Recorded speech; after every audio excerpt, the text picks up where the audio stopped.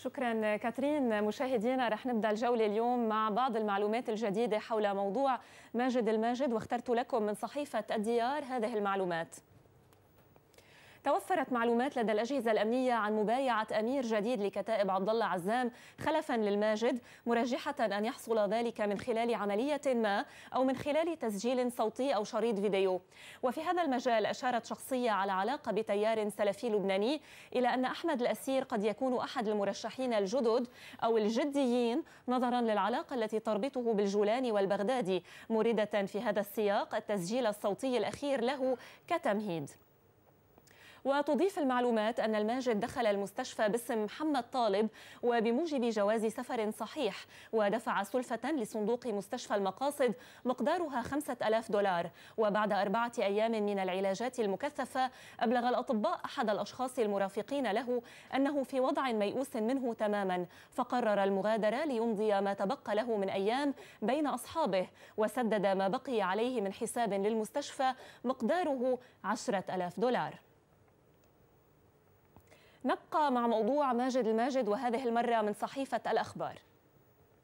شكوك تحيط بالكشف الطبي على الجثة بقلم الزميل محمد نزال. تلفت المصادر إلى أن الطبيب الذي كشف على جثة الماجد سجل في حقه قبل نحو سنة خطأ طبي جسيم.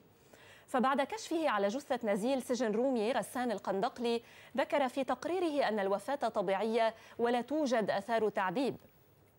لكن وبعد الجلبة التي أثرتها تلك القضية أعيد الكشف على جثة القندقلي من قبل أكثر من طبيب ليخلصوا إلى أن السجين قتل خنقا ووجدت على جثته كدمات وأثار تعذيب ومن قتله هم سجناء من فتح الإسلام.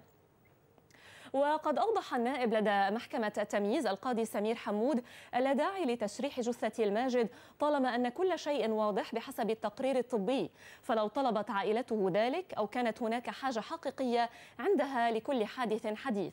وأضاف تقرير الطب الشرعي الذي وضع بعد إجراء الفحوص والصور أفاد عن وجود التهابات حادة في الرئتين قصور في عمل الكلى تدني نسبة البلاكات في الدم هبوط في ضغط الدم وكل ذلك أدى في النهاية إلى الوفاة.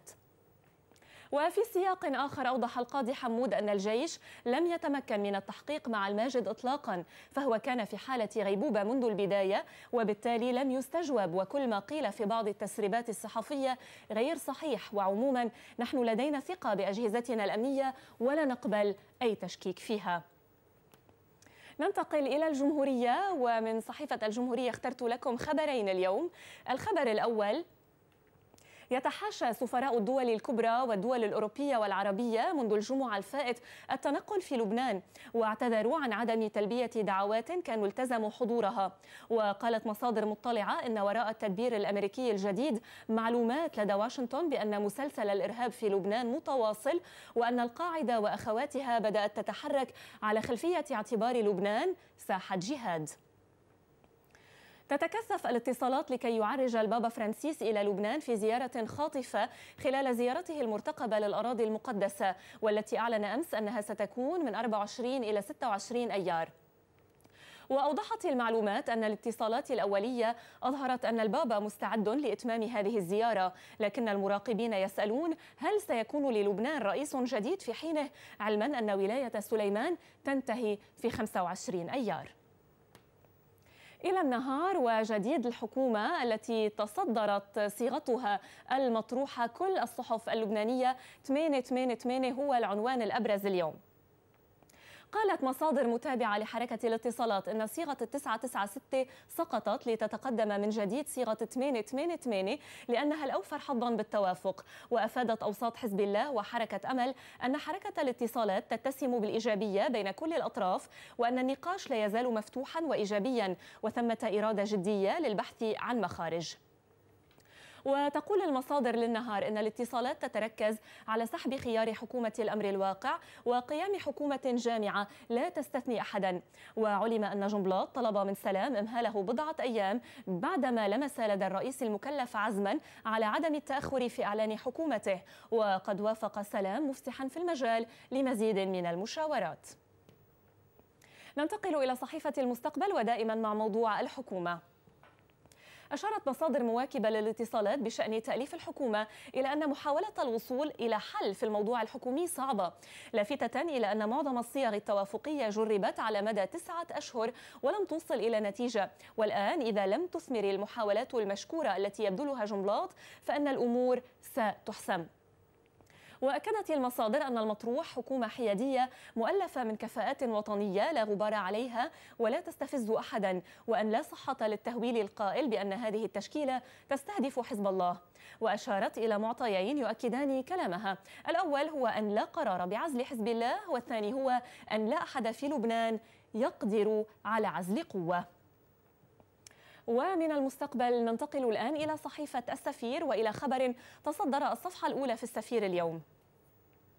قال مصدر واسع الاطلاع أن المفاوضات بشأن ملف راهبات معلولة بلغت نقطة متقدمة ونحن نقترب من نقطة شبيهة بالنقطة التي بلغتها معادلة صفقة أعزاز. ما يعني أن الأمور وضعت على السكة الصحيحة؟ وثمة أخذ ورد ورفض المصدر. الخوض في المواعيد مكتفيا بالإشارة إلى أن الأجواء إيجابية وواقعية. وقال المصدر أن ملف راهبات معلولة منفصل عن ملف المطرانين المخطوفين لكنه استدرك بالقول أن الاتصالات التي يجريها اللواء إبراهيم للإفراج عن الراهبات بالتنسيق مع السلطات السورية والقطرية والتركية قد تفتح نافذة يمكن الاستفادة منها لإماطة اللثام عن قضية المطرانين. وإلى صحيفة الحياة وافتتاحية الأستاذ غسان شربل تحت عنوان رسالة شكر إلى داعش. خلطت الإطلالات المدوية لداعش الأوراق. ليس غريبا أن يشعر أركان الحكومة العراقية العتيدة أن داعش هدية جاءت في الوقت المناسب. وفرت للمالك فرصة خوض حرب جديدة قد تؤدي إلى ترميم موقعه بعدما تصدع نسبيا داخل طائفته. أغلب الظن أن أركان النظام السوري يعتبرونها هدية ثمينة تستحق رسالة شكر على إنجازاتها خصوصا بعدما ولغت في دم الجيش الحر وكتائب أخرى. الممارسات الداعشية الفضة المتتالية تتيح لطهران أن تخير الشيطان الأكبر بين تقبل فكرة استمرار النظام السوري الحالي أو مواجهة سوريا انتحارية أو مواجهة سورية انتحارية تعيش في ظل داعش وأشباهها. داعش قد تتلقى رسالة شكر من باراك أوباما فقد أعطته العذر لغسل يديه من الملف السوري. ومن يدري فقد تتلقى داعش رسالة شكر من سيرجي لافروف لأن إطلالتها تدعم محاولته لجعل مكافحة الإرهاب البند الأول على طاولة جنيف اثنين. أما أخطر ما في إطلالة داعش أنها كشفت بؤسنا الثقافي والسياسي وثراء آبار الكراهية في تربتنا الخصبة. كشفت عقم كتبنا وجامعاتنا وأحزابنا. وأختم الجولة مع صحيفة ساندي إكسبرس وهذا الخبر الآتي من بريطانيا. ملكة بريطانيا إليزابيث الثانية مستاءة من لحية حفيدها الأمير هاري وأصدرت له أمرا في العام الجديد بأنها تكرهها بشدة وتتوقع منه أن يزيلها عاجلا وليس آجلا. وبحسب مصادر مطلعة فإن هاري وعد بالانصياع لأوامر جدته لكنه لن يحلق لحيته قبل أن تراها صديقته. وكان هاري قد أطلق لحيته الشهر الماضي خلال مشاركته في رحلة إلى القطب الجنوبي مع جنود بريطانيين جرحى معتبرا اللحى تقليدا ملكيا. بهذا الخبر البريطاني الملكي أختم الجولة وأعود إلى كاترين.